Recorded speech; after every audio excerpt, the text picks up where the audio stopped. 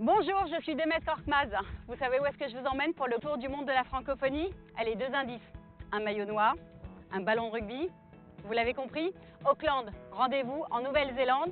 Je serai avec Tony Marsh, l'ex-rugbyman qui a fait toute sa carrière en France. On sera également entouré de vignerons francophones, mais aussi de Weta Digital, le studio de Peter Jackson, celui qui a fait Le Seigneur des Anneaux, mais aussi Avatar et le dernier Valérian de Luc Besson.